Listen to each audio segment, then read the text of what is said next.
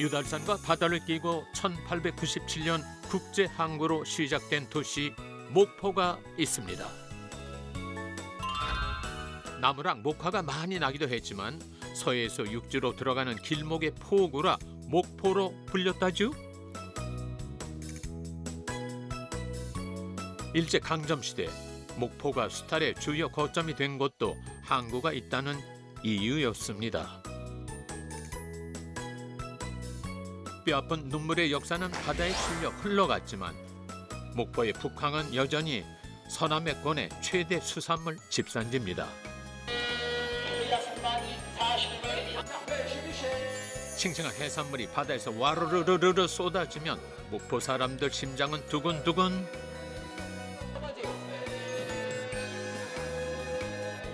생활 전선이 아니라 생활 전쟁터입니다. 속도가 생명인 위판장 사람들은 말보다 손이 빠릅니다. 바쁘니까 우리가 바쁘니까 이렇게 북항에서 나온 생선들은 쭉쭉 뻗어나가 목포의 피를 콸콸 돌게 합니다. 거기에 100마리도 더 나와요. 한마디로 물건이 싱싱하잖아. 막 들어오니까. 응, 경매 받아서 막 들어오니까 싱싱해. 그렇게 싸다고. 털떡이는 수산물과 함께 목포 사람들의 강인한 생명력을 끌어올리는 곳. 목포를 더 뜨겁게 하는 심장, 북항으로 가 보시죠. 오늘은 전라남도 목포시의 중심 북항의 선업 위판장으로 가봅니다. 목포 하면 유달산과 푸른 앞바다 항구가 떠오르는데요. 그 중에서도 항구는 부산, 인천과 더불어 한국을 대표하는 수산물 집산지이자 120년이 흘러온 목포의 역사입니다. 지난 5월 목포 수협이 80년 만에 북항으로 이전해 새롭게 단장하면서 그 규모는 더 웅장해졌는데요. 목포의 해안 경관에도 큰 변화가 생겼습니다. 신안과 무안 등 다도해와 제주 바다에서 조업을 마친 어선들이 이른 새벽 북한 위판장으로 속속 도착하는데요. 깜깜한 새벽, 북항의 불은 3시에 켜집니다. 간밤에 도착한 수천 개의 어상자, 위판장 안은 마치 대형 냉장고처럼 얼음에 덮여 있습니다. 가장 먼저 출근해 경매를 준비하는 찬기윤 씨 뭘 적고 있죠? 경매 순번이랑 수량을 적어두신다고 생각하시면 돼요. 아직 2년이 채 안 된 신입이라 군기가 바짝 든 보조이자 경매 매력에 푹 빠진 청년입니다. 3시에서 3시 20분 항상 그렇게 출근하고 있습니다. 힘들지 않으세요? 어, 안 힘들다고 하면 거짓말일 텐데 그래도 뭔가 저 제가 이제 하루를 여는 사람인 것 같아서 그래도 좀 뿌듯하게 나오고 있어요. 안강망으로 잡힌 먹갈치를 비롯해 유자망에 걸린 참조기와 다종다양한 생선들이 그야말로 풍년입니다. 좋은 물건에 눈도장 콕 찍으러 속속 도착하는 사람들. 경매가 시작되기 직전 창균 씨가 중요한 마이크만 차고 모자와 조끼는 벗어 던지는데요. 아 근데 제가 땀이 좀 많아가지고 그렇게 입고 하면 조끼랑 다 젖어버려서요. 네, 아 이게 그렇게 격렬해요? 네 이제 경매를 시작하면 이제 정신도 없고 이제 땀을 많이 흘리다 보니까 매일 하는 일이지만 많은 사람의 생계가 걸린 현장. 작은 실수도 나와선 안 되기에 매번 긴장 속에 시작하는데요. 경매 보조는 20kg 정도 되는 어상자를 뒤집어 엎으며 상태와 수량을 확인시켜 줍니다. 안쪽이 3개, 7개. 야가리. 오늘 물건들이 선도도 좋고 수량도 풍부하니 아따 오늘 분위기 화끈하네요. 잉?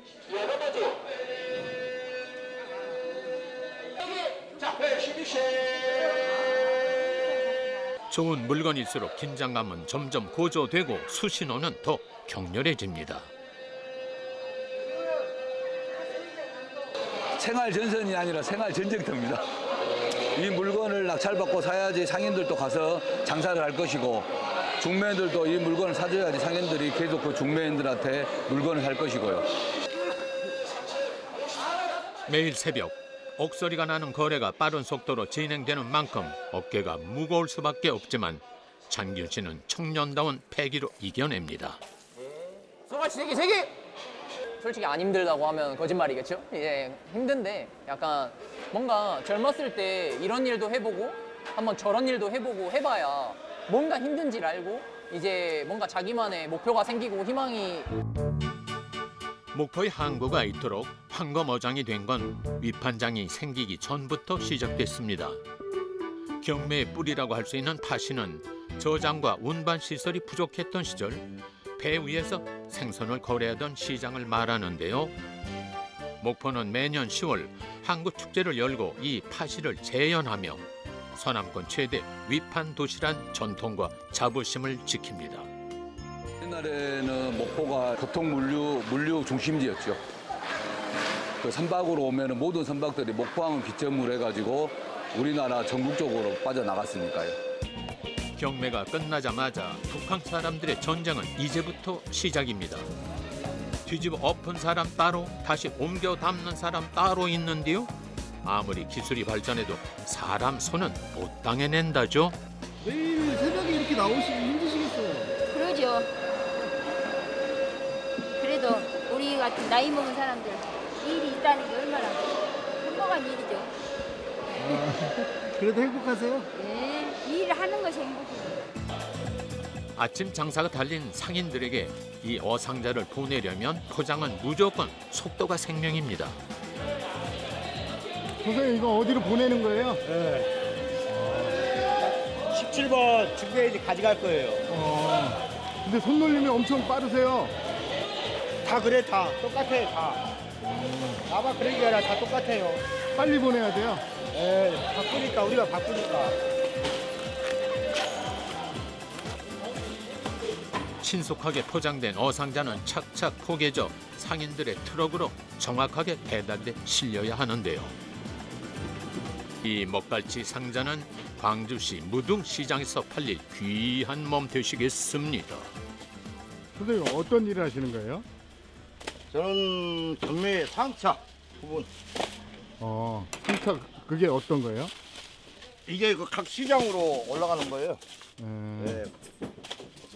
시장으로 서울, 광주. 이분이 최고 베테랑입니다. 예. 하는데 최고 베테랑. 어떤 베테랑이요? 예, 상 물건 실어주고 어, 저 최고 오래를 하셨고. 아 그러세요? 예, 광주에서 새벽 2시에 눈 떠가지고 아, 빨리 와야지 좋은 물건 싸게 잡고 싱싱한 거 내가 눈으로 봐야지 사니까 음, 오늘 물건은 어떠셨어요? 오늘 좋아요 아, 갓도 맞고 수고하셨어요 예. 무려 20년 동안 이렇게 매일 북항을 오가는 참 부지런한 상인입니다.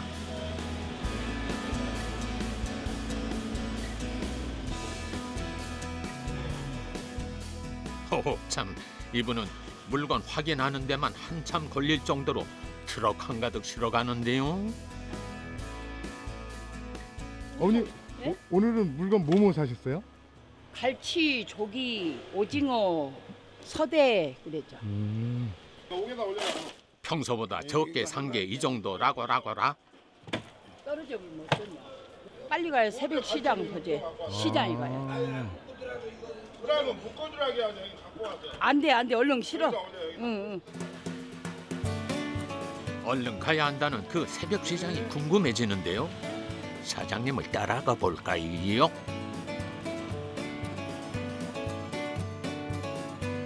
시내 한복판에 자리한 목포역.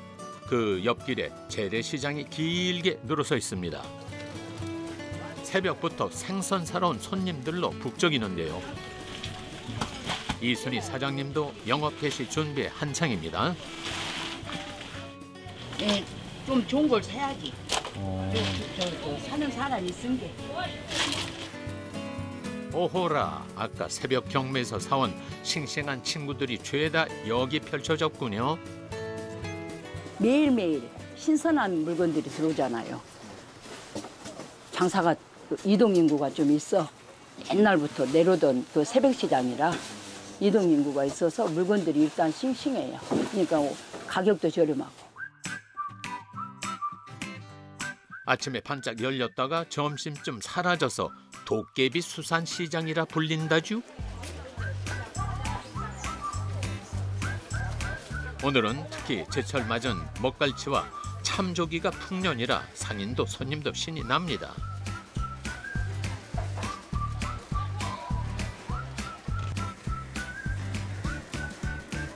우리 사장님도 입꼬리가 슬슬 올라가는 걸 보니 제법 많이 파신 것 같죠?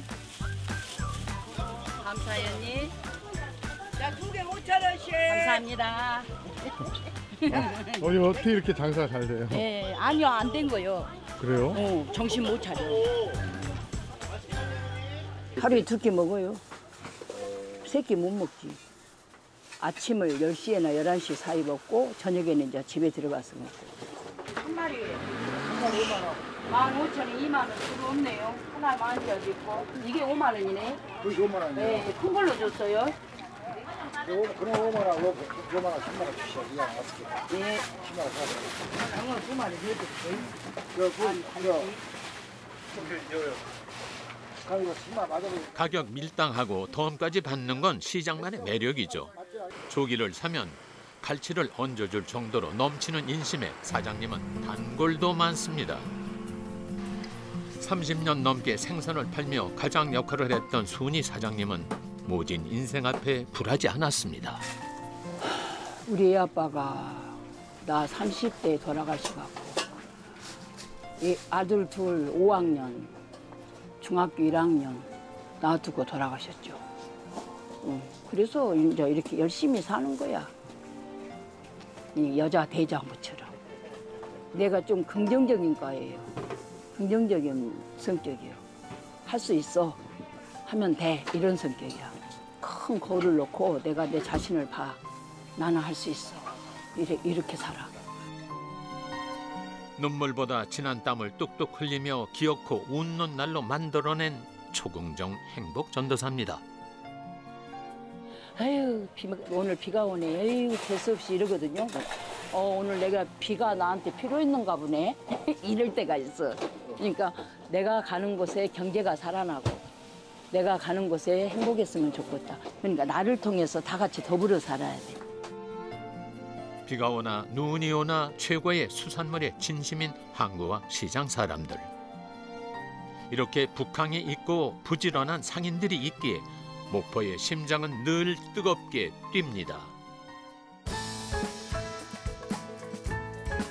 이번엔 북항에서도 작은 어선들이 많이 있는 선착장으로 가봅니다.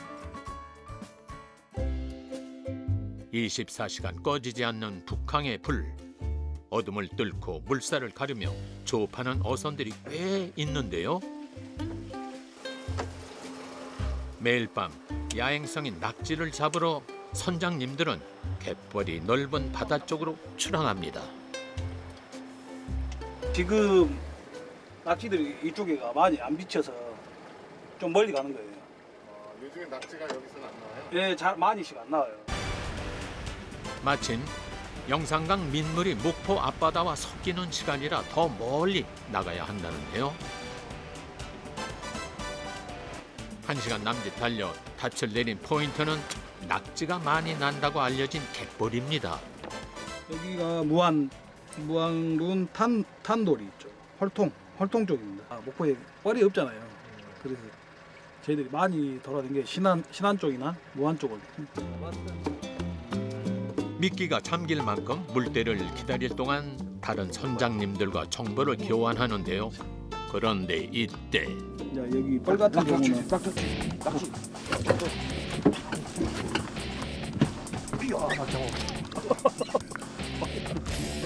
너 언제 맞아? 방금 봤잖아요. 이거 들어와 이제 들어온디. 이게 낙지예요. 와거 잘해야. 네. 아니 이거 이렇게 잘긴 오늘 우와. 겁나 잘해. 우와. 지금 뜰 나간 거예요 지금. 와. 이제 들어온 낙지예요 이게. 그리고 원래 추석 거의 무렵에가 낙지들이 좀 많이 뜰락을 많이 해. 와 문다 물어. 문다 물어. 와, 물어요? 문다. 꽃낙지라는 거예요 꽃낙지. 꽃낙지요? 예. 이제 세발 전, 전 단계 낙지 엄청 작잖아요. 저게 한 마리에 네. 6천 원이요? 예, 이거 한 마리. 어제 입판가가 6천 원 나왔어요. 그럼 6천 원을 그냥 건지셨네요? 뭐 주순 거죠 어떻게? 이런 게 간혹가다 있어요. 저희 친구들은 서울에 있는 친구들. 와, 이거 예감이 아주 좋습니다. 선장님이 인심을 팍팍 쓰는데요. 하나 드셔보세요. 예? 한 드셔보시라니까요. 아니 드셔보시라니까요. 뭘 많이 해요. 달달해요. 아 그래요? 예. 그럼 한번 드셔보시죠. 아니요 저는 저는 낙지를 잘 안 먹어요. 새벽 1시쯤 되자 물이 알맞게 찼습니다. 이게 미끼인자 준한 미끼. 낙지가 좋아하는 작은 개 300마리를 미끼줄에 달아 갯벌에 쭉 떨어뜨립니다. 이게 바로 준학으로 잡는 방법인데요. 줄을 감았다 풀었다 하며 미끼를 잡고 떠오르는 낙지를 기다리는 거죠. 이렇게 딱 준비하고 있다가 냉큼 낚으면 됩니다. 자, 이제 슬슬 입질이 올 때가 됐는데요. 세영 씨는 이 뿌연 물속을 눈이 빠지게 보다가 시력도 많이 상했답니다. 이따 보시면 낙지가 올라오게 되, 될, 되면 그게 보여요. 딱 낙지가 딱 아 낙지가 올라온다. 오잉? 한 바퀴를 다 돌았는데 이거 참 이 낙지는 깜깜 무소식이네요. 아 한때 200마리도 넘게 잡았던 11년 경력에 선장님 표정이 점점 어두워집니다. 와 느낌 안 좋은데요. 느낌이 안 좋아요. 그래도 빈손으로 돌아간 적은 한 번도 없었으니 좀 더 인내심을 갖고 계속 찾아보는데요. 오이? 그런데 이때. 캬, 요놈 잘 걸렸다. 드디어 낙지 얼굴을 보자 선장님 얼굴도 펴집니다. 주낙은 이렇게 타이밍에 맞춰 낙지를 놓치지 않고 nice catch 하면 되는데요. 그래서 보통 작은 배로 홀로 조업합니다. 캄캄한 바다에서 고독한 듯 보이지만 잡는 재미도 꽤 쏠쏠하다는데요. 잡는 사람도 먹는 사람도 힘이 나는 걸 보니 낙지가 갯벌에 산삼이 맞긴 맞나 봅니다. 낙지가 하나 둘 잡힐수록 두 아이의 아빠인 가장의 어깨는 올라갑니다. 그래도 제법 잡힌 것 같죠? 더 욕심내지 않고 그날의 바다가 허락한 양만큼 만족하고 돌아옵니다.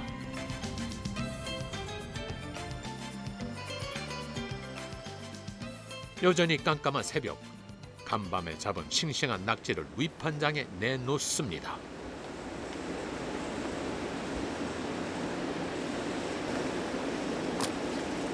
크기별로 값이 달라 착착 분류해 넣어야 비로소 그날 조업이 마무리되는데요. 얘들아 좋은 값에 팔려 나가렴. 음. 몇 마리 하신 거예요? 30개. 여섯 가지 30개. 근데 못 잡으면 별로 안것 같아요.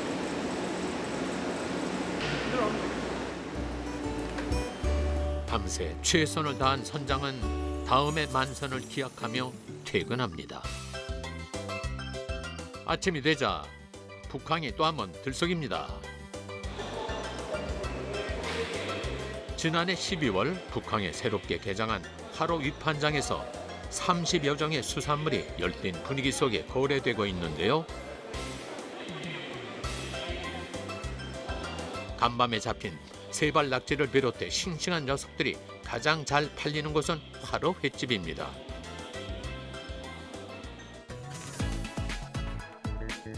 위판장 바로 뒤에는 주 거래처인 화로의 플라자가 있는데요.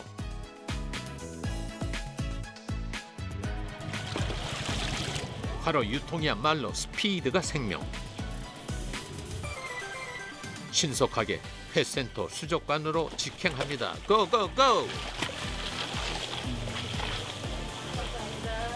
자연산은 무조건 거기서 와요. 자연산은 육반장에서 어, 무조건 거기서 다 들어온 거죠. 아따따 여기는 또 다른 바다네요. 이?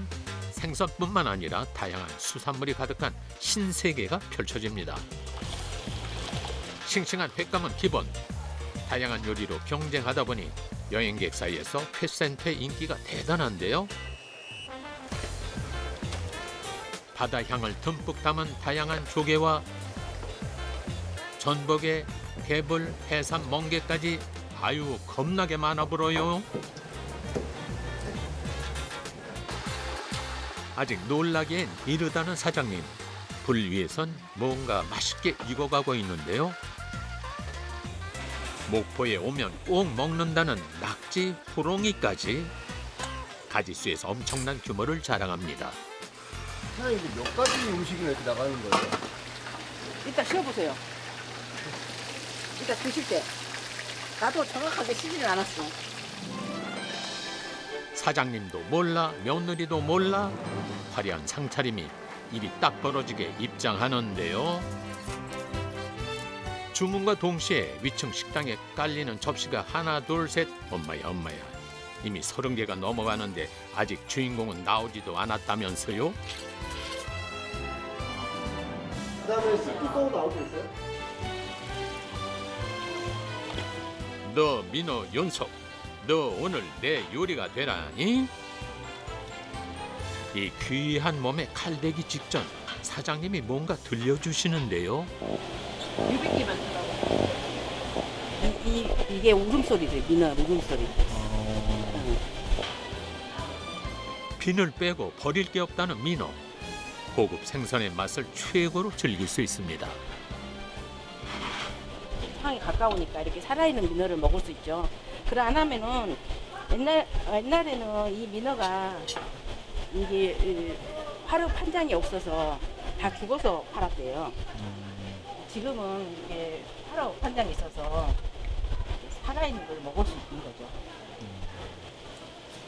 내가 제일 맛있어요. 20년 횟집 인생의 영광의 상처가 남았습니다. 손 많이 많이 다다 관절 왔어. 계속 하니까 다 네. 이렇게 막 이렇게. 그 그게 제일 힘들어요. 다른 건 힘 안 든데 음, 이, 다 손으로 하다 보니까 손에 관절이 와. 목포에 놀러 온 여행객들은 푸짐하게 차려진 이 맛있는 거 옆에 맛있는 거를 보며 흐뭇해집니다. 가지수가 너무 많아서 어떤 걸 먼저 접근하고 가야 할지를 모르겠어요.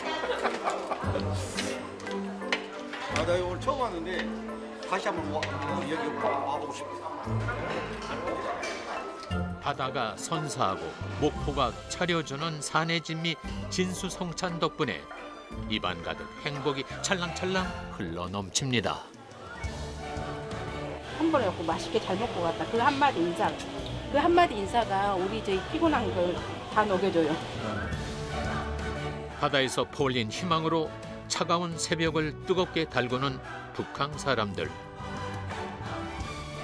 매일 쏟아지는 싱싱한 수산물 덕분에 인정과 활기가 넘칩니다.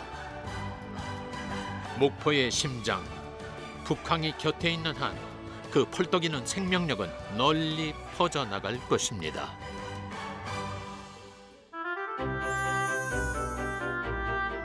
낙지 탕탕이, 낙지 호롱. 수라상을 받은 기분입니다. 왕이 된 기분입니다. 왕.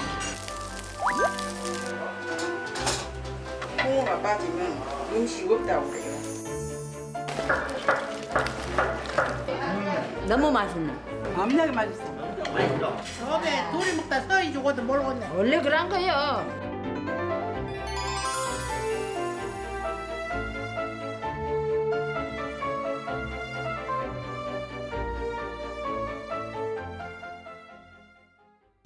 Who says I can't get stoned? Turn off the lights and the telephone. Me and my house alone. Who says I can't get stoned? Who says I can't be free from all of the things that I used to be? Rewrite my history. Who says I can't be free? It's been a long night. It's been a long night.